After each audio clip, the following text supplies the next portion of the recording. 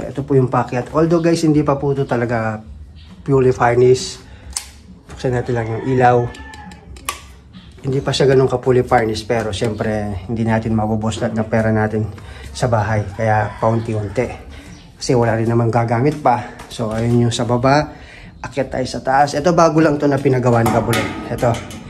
Itong uh, hawakan ng uh, hagdan na papakyat sa taas. Bago lang po yan. Dati wala yan. So, ito. Nasa second floor tayo. May maliit na gate. So, yan po. So, ito yung pinaka wallway ng kwarto ng bahay natin guys. So mapapansin nyo may mga PVC pa na ilalagay. So ito po yung uh, unang kwarto na maabutan po ninyo. Tabi-tabi po kasi walang tao guys. Baka magambala natin sila. Ito po yung kwarto. Sinasabi ko, kikiral lang po. So ayan guys. Ito yung banyo niya.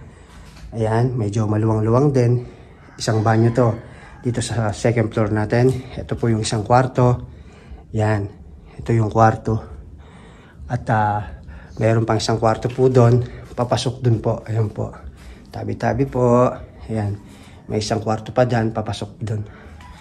So, wag na na tayong pumunta doon dahil madilim. Hindi aabot yung ating GoPro doon. Ay, GoPro, sorry. Camera. So, sarado na natin. Ang luwang ng mga kwarto, di ba? Bago lang po itong pintuan na to guys na pinalagay natin. So napakaganda. Konting-konting nilang matatapos na rin po to. Ito po yung kabilang kwarto. Tabi malapit dito sa terrace. So buksan natin. Tabi po. So ito. So natin yung mga ilaw kasi nga ginagawa pa yung kisame, yung electrical uh, medyo patapos na. So electrical muna bago yung kisame. So ito po yung kwarto guys na sinasabi ko sa inyo. Yan. Naka-switch pala to. Off ko lang muna. Wala pa pala ano to. Ito yung isang kwarto na malapit dito sa amin. So, yan, may mga gamit-gamit. So, under ano pa siya, maintenance pa. Ibig ko sabihin, ginagawa pa. Kasalukuyan na hinto lang dahil umuwi tayo. So, yan. Although patapos na guys, makikita nyo kisame na lang. Nakapintura na siya. So, tiles na lang ang kulang. May mga kuryente na.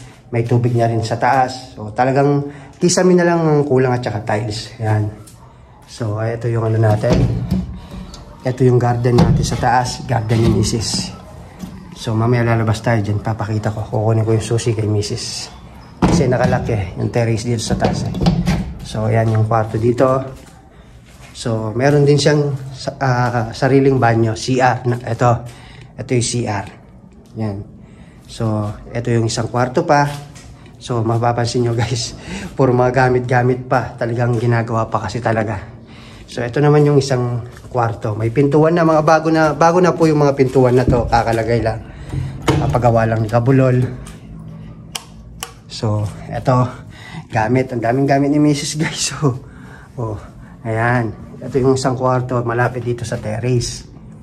Actually guys, kakagawa gawa lang po to. I mean, ibig ko sabihin yung pintura nito at yung electrical nito, makikita nyo. Kasi nga talaga plano ko bago ako umuwi, uh, ma ma mapatapos ko tong bahay na to. Kahit ito munang kalahati yung dalawang kwarto. Tapos susunod na yung next dun sa uh, kabila. Pero umuwi tayo kaya medyo na-delay lang po ng konti. So ayan po yung mga kwarto rito. At ito po yung pinagawa kong cabinet kay Mrs. So ayan yung second floor, yung bahay ni Kabulol. Off lang natin yung ilaw. Sarado natin. Medyo maano pa yung mga ano ayaw malak. So ayan guys. Yan guys dito na pupunta lahat ng uh, pinagtatrabawan natin. So ngayon dadako naman tayo. Patayin ko muna yung ilaw guys. Ito. Ayan. So ayan yung kwarto. Sinasabi ko po sa inyo na second floor ng bahay namin. Ito. So labas na po tayo papakita ko naman sa inyo yung terrace kukunin ko lang yung susi kay Mrs. Ito yung wallway. So, bala po dito, pakalagyan ng tiles to para mas mag... Kunin lang natin yung susi kay Mrs. So, tinakpan lang muna namin to ng mga yero guys kasi pag umuulan, pumapasok sa loob yung ano, yung uh, tubig. Pag uh, may kasamang hangin yung hulan kasi may kisame sa baba baka naman mabasa kainin ng anay, madaming anay kasi dito sa amin. Pero pag nag for good na ako dito na kami nanira ginamit na namin tong nasa taas mga kwarto dyan eh papatanggal ko na to, papapalitan ko lang po doon ng polycarbonate, yung uh, fiberglass na malinaw para hindi gano'ng madilim. So ngayon parang madilim siya dahil nga, yun nga, pag umuulan, yung tubig pumapasok po dito talaga. So ngayon baba tayo, kunin natin yung susi kay Mrs. At ito naman guys, bakanting wall, papalagyan natin siya ng mga bricks. Ilalagay ko dyan yung mga, uh, tawag dito, yung mga malasanto na uh, tulad ni Papa Jesus, Mama Mary, yung Holy Family. So lalagyan ko ng mga ilaw-ilaw dyan. So pagsasama-sama, eh, ano kami, religious kami, religyoso kami. Kaya naniniwala kami dun. So ito, baba muna tayo dito guys.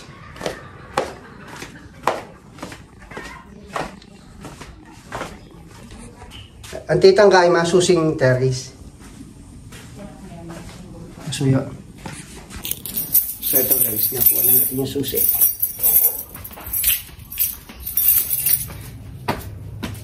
Ikot tayo sa taas. Patayin na natin yung ilaw kasi nakita na natin maliwanag na.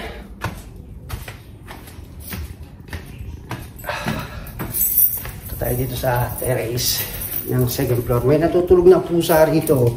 Ito yung pusa na to. Ayan o. Ayan o. Malis bumaba. Buksan lang natin. So, ayan guys yung terrace dito sa amin second floor. So, ito yung pananim ni Mrs. guys. Ito yung uh, kwarto na sinasabi ko sa inyo na pinasukan natin kanina. So, ayan po guys. Meron ding pananim si Mrs. dito guys sa taas. Pero napabayaan na. So, naging hands, hands on siya dito nung pandemic. Naging plantita talaga siya. So, yan po yung pananim niya dito sa taas. Sa sarap na sa taas guys. So, yan guys. Andito tayo sa second floor ng bahay ko.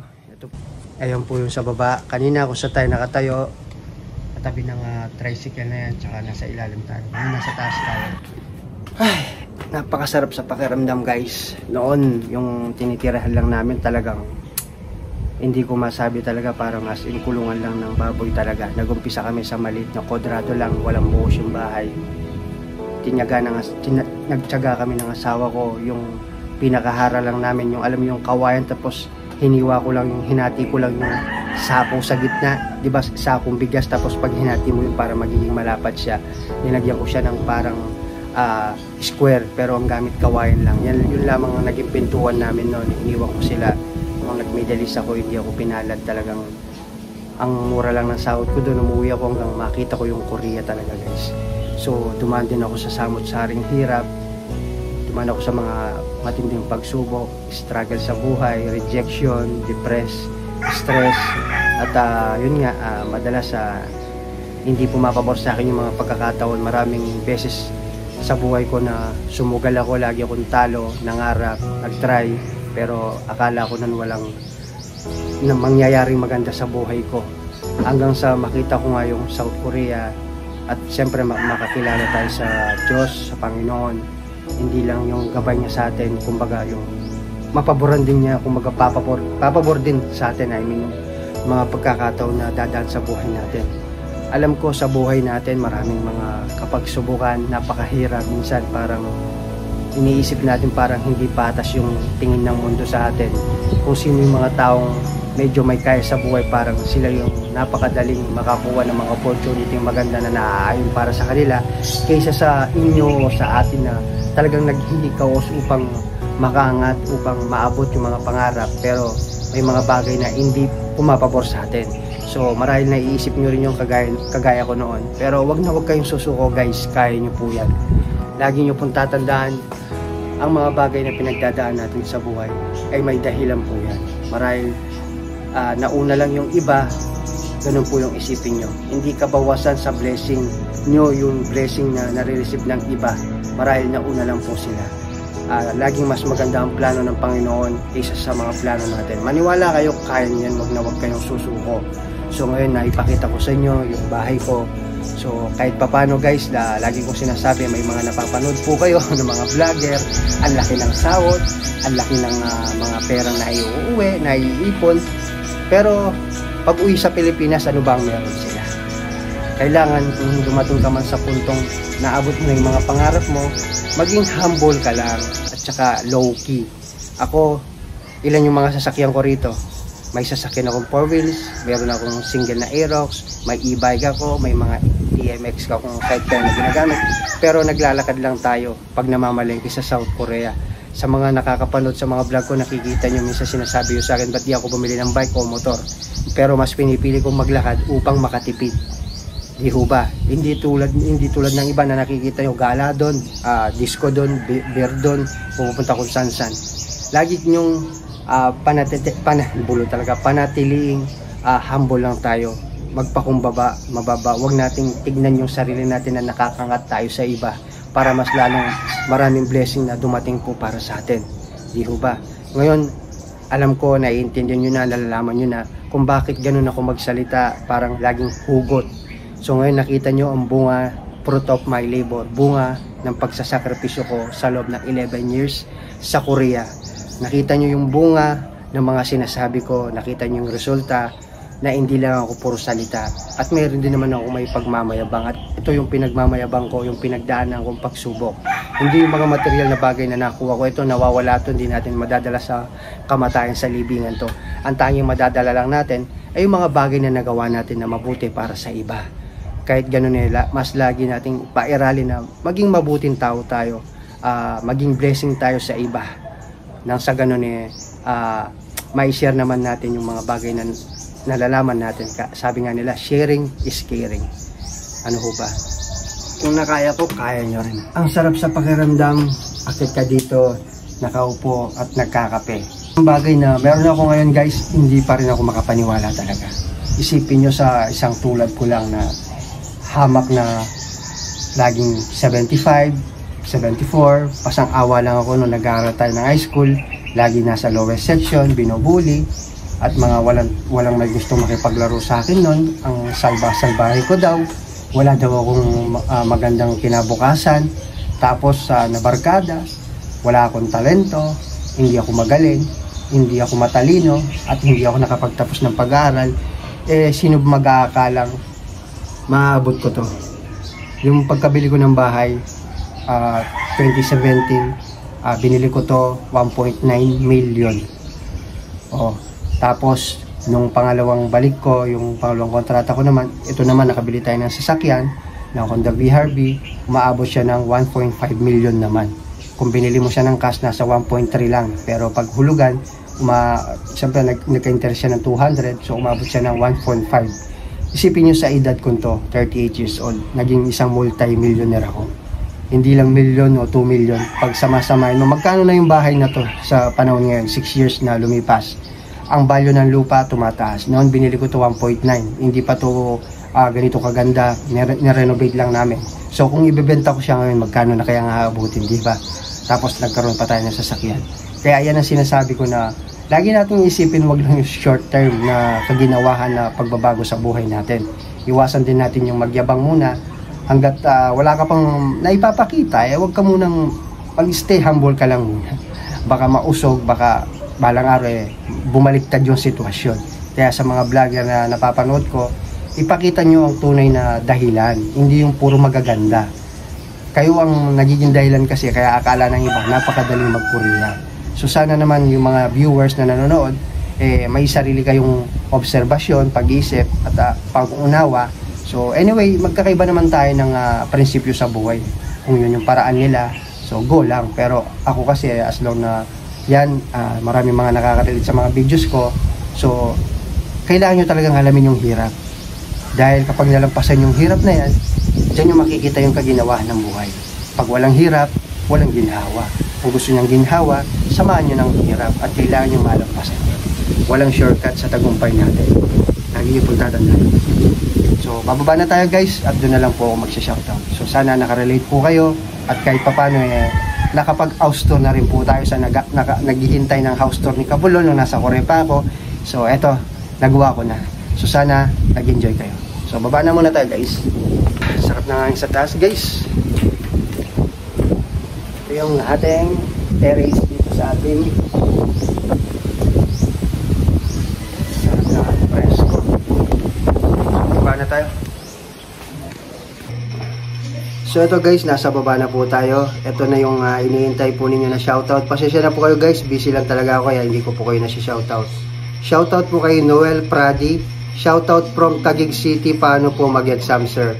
So mag-exam ka, kailangan mag-aaral ng Korean and then mag-hintayin mo yung registration sa DMW at mag-register ka dun upang makapag-take ka ng EPS topic exam.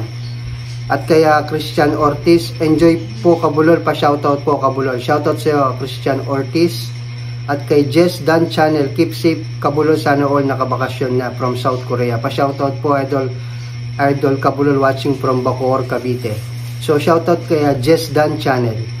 Kay uh, hello good morning Idol Kabulol, pa shoutout naman ulit from Norsagaray, Bulacan, Kabalen. So, kay ma'am, uh, wala po siyang pangalan, user lang po yung nakalagay dito, H1KB2KR. Uh, taga Norsagaray, Bulacan po, shoutout po kay ma'am. Ayun, naligaw na po si Kabulon na sana. At kaya Oliver Natividad, pa-shoutout din po sa next vlog mo sir. Ingat po kayo lagi. God bless. Good luck Kabulol at saka kaya Patrick Carriedo, shoutout po sir. At kaya Katatay Vlogs, salamat po idol. Ingat po kayo palagi.